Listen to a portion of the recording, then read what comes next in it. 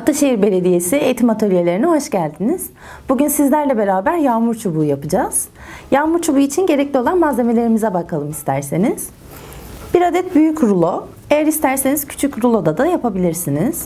Renkli keçe, birkaç adet çubuk, çivi, metal, makas, kalem ve yapıştırıcıya ihtiyacımız var. İsterseniz başlayalım. Evet, biz bugün büyük de yapacağız ama küçük rulolarla da size nasıl yapılacağını gösterelim. Bunun için eğer e, toplu iğneniz varsa daha küçük bir tuvalet kağıdı rulosuyla iki tanesini birleştirerek toplu iğneleri batırarak da yapabilirsiniz. Daha sonra üzerini kaplayabilirsiniz. Ya da bir çivi yardımıyla kalın rulonuzu karşılıklı gelecek şekilde bu şekilde delerek yapabilirsiniz. Bunu deldikten sonra aralarına bu ince çubuklardan koyacağız ki içine koyduğumuz metaller ya da bakla gil koyabilirsiniz. Ee, onlar aralarında hareket ederken ses çıkarabilsin. Yapmaya başlayalım. Şimdi bir tane çubuğu alıyorum. Çapraz olarak deldiğim yerden geçiriyorum. Çubuklar biraz büyük gelecek. O yüzden kesmemiz gerekecek. Diğerlerini de yapıyorum aynı şekilde. Karşılıklı deldiğim yerlerden. Malzeme biraz sert olduğu için zor olabilir. O yüzden dikkatli yapın. Aynı şekilde devam ediyorum.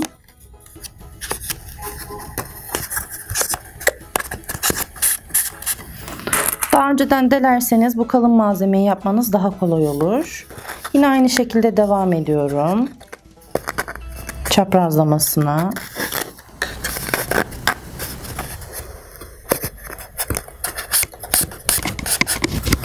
İç kısmını bu şekilde çapraz gelecek şekilde deliyorum. İsterseniz metalleri ara kısımlarına da ekleyerek yani çubuğun içinden metali geçirerek daha doğrusu önce çubuğu geçirerek çok pardon tekrar göstereceğim. Önce çubuğu geçirip sonra arasından metali geçirerek karşı tarafa tekrar geçirebilirsiniz. Bu şekilde içinde metal kalırsa daha fazla ses çıkarır. Hepsini bu şekilde yapacağız. Sonra kenarlarını keseceğiz. Hadi şimdi büyüğü yapalım. Büyük rulomuzu aldık ve yapmaya başlayabiliriz. Biz daha önceden deldik. Çivileri koyması daha kolay oluyor. Çiviyle yapacaksanız eğer lütfen büyüklerinizden yardım isteyin. Şimdi belirlediğim noktalara çivileri yerleştiriyorum. Yerleştirdiğim çivi arkadan çıkmayacak. Mümkün oldukça hepsini çapraz yerleştiriyorum. Yani şu şekilde dönerek, dönme şeklinde de yapabilirsiniz. Önemli olan birbirlerine temas etmemeleri.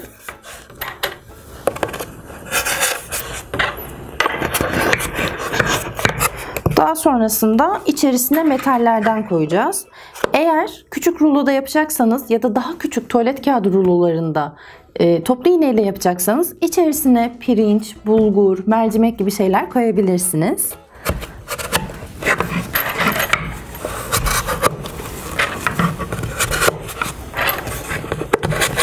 Bu şekilde hepsini diziyorum.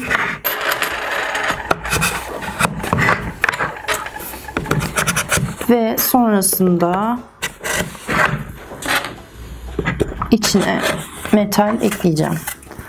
Bu şekilde oluyor. İç kısmı da bu şekilde olacak.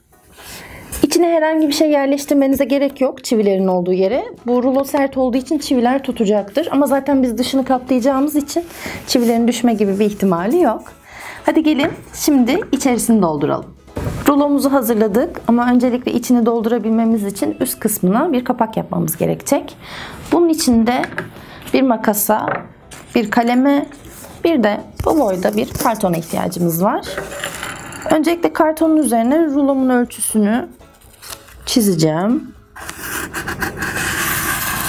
İki tane kapak yapmam gerekiyor. Biri üst için, biri alt için. Karşılıklı olarak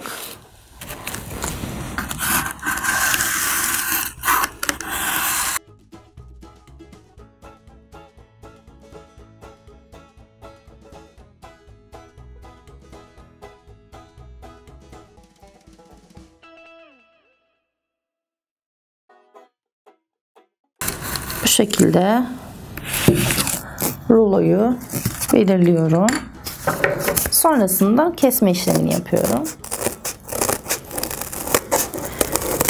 Çizginin üzerinden keserseniz tam ölçüyü yakalarsınız.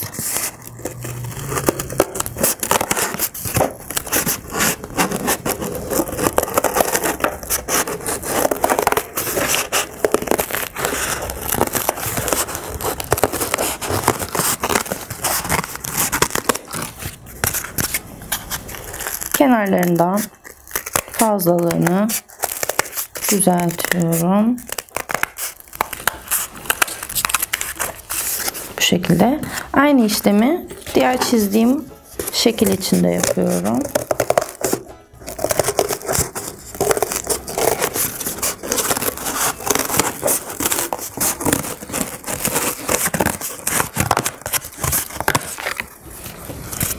Yine kenarlarından düzeltiyorum.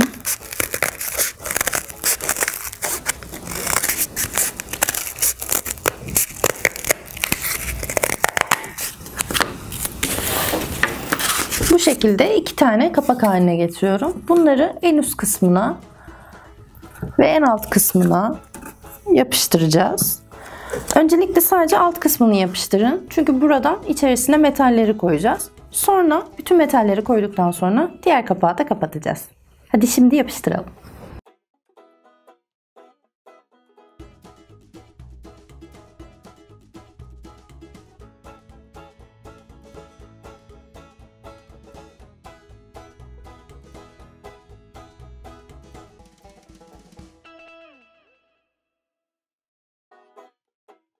İçine metallerimizi koyduk. Şimdi kutumuzu keçeyle kaplayabiliriz. Hadi kaplayalım. Siyah keçeyi alıyorum. Yapıştırıcıyla bu şekilde boylamda yapıştıracağım.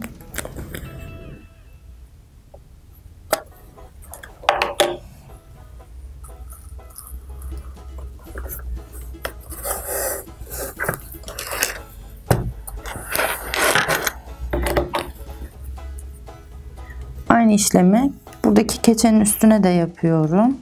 Ve biraz da kartona ve üzerine kapatıyorum.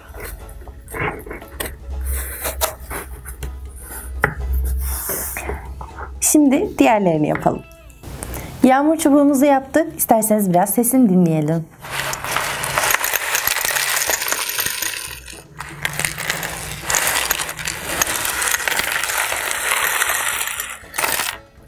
Siz isterseniz böyle büyük, isterseniz toplu iğneden küçük yapabilirsiniz.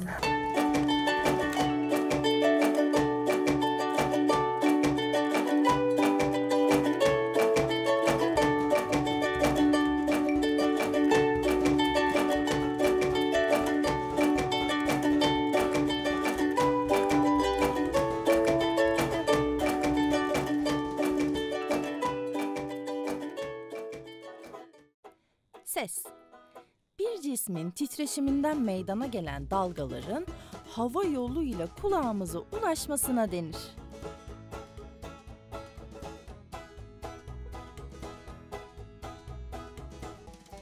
İnsanlarda ise akciğerden gelen havanın ses yoluyla meydana getirdiği titreşime ses denir. Çevremizde ses çıkaran sayısız varlık vardır. İnsanlar, hayvanlar, taşıtlar, müzik aletleri, şelale, rüzgar, yağmur ses çıkaran varlıklardandır. Kendiliğinden ses çıkaran varlıklara doğal ses kaynakları denir.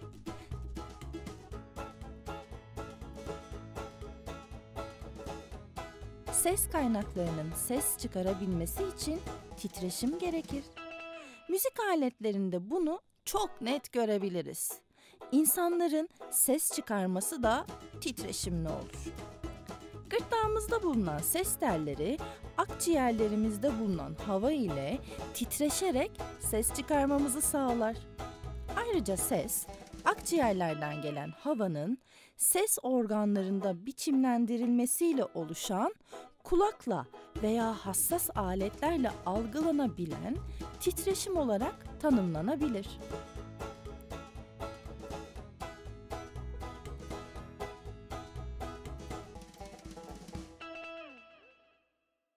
İnsanoğlunun kendi ses organlarıyla üretip kullandığı bu sesler konuşma dilinin görece en küçük parçasını ve dilin temelini oluşturur.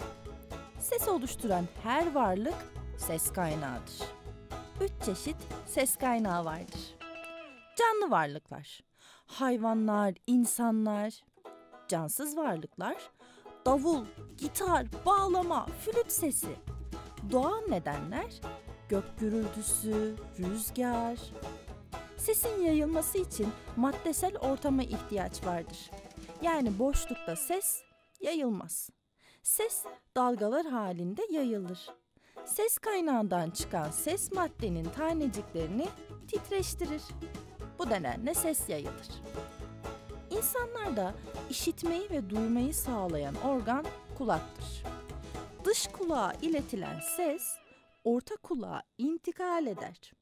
Orta kulaktan ise iç kulağa geçerek sinirler aracılığıyla beyine ulaşır. Böylece ses beyinde canlandırılmış, diğer bir deyişle duyulmuş olur. Müziğin ham maddesi sestir. Ses dediğimiz olgu hareketin meydana getirdiği bir üründür. Hareket eden herhangi bir madde havada titreşimler oluşturur. Bu titreşimler duyumu duyumuz tarafından algılanır. Sesin oluşması için ses yani kaynak, artı iletken madde yani ortam, artı işitme organı ve beyin yani alıcı gerekmektedir. Ses dalgaları her türlü iletken maddeler üzerinde değişik hızlarla yol almaktadır. Sesin havadaki hızı saniyede yaklaşık 332 metredir. Bir sesin ses olarak algılanabilmesi için dalgaların iletken bir ortamda kulağa ve oradan da işitme merkezine ulaşması gerekmektedir. Bu durumda sesten söz edilebilmesi için ses kaynağı, iletken ortam, kulak ve beynin olması gerekmektedir.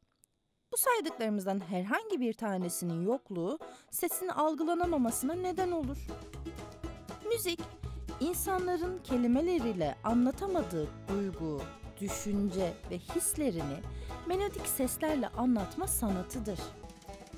Müziğin diğer bir tanımı ise insanların kendi yapılarına uygun yaşadığı ortama göre sesleri kullanma sanatıdır.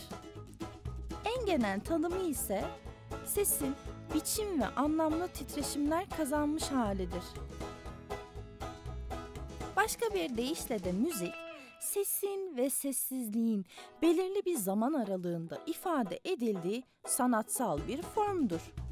Biçim ve titreşim içeren bir ses oluşumunda melodi olarak kabul görmesi için dinleyen de duygulara yönelik etkileşim yapması da beklenmektedir. Müzik, müzik sesleri, insan sesleri ve müzik aletleri sesleri olmak üzere ikiye ayrılır. Müzik, dünyadaki her insanın sevdiği ender şeylerden biridir ve insanlık var olduğundan beri vardır. İnsanlığın doğuşuyla müziğin doğuşu, daha doğrusu insanın müziği keşfetmesi arasında çok kısa bir zaman farkı vardır. Çünkü insanlık ilk ihtiyaçlarının önemli bir kısmını müzik ile karşılamıştır. Bunlara en güzel örnek iletişimdir. Dilin karmaşık yapısı iletişim için ilk yolun müzik olmasını kaçınılmaz kılmıştır.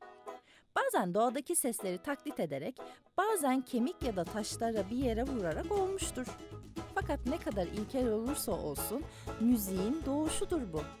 Daha doğrusu insanlığın müziği keşfidir. Müzik insana gerek duyan bir olgu değildir. Doğa bizzat müzisyendir. Dalgaların sesi, yaprakların, rüzgarın, yağmurun sesi müzik değil de nedir? Ya da kim bir kuşun çıkardığı seslerin müzik olmadığını iddia edebilir?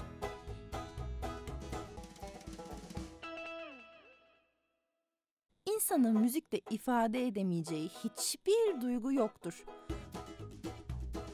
Hatta bazen başka şekilde ifade edemediğimiz duyguları müzikle ifade edebiliriz. Yani müzik aynı zamanda duygularımızın dilidir.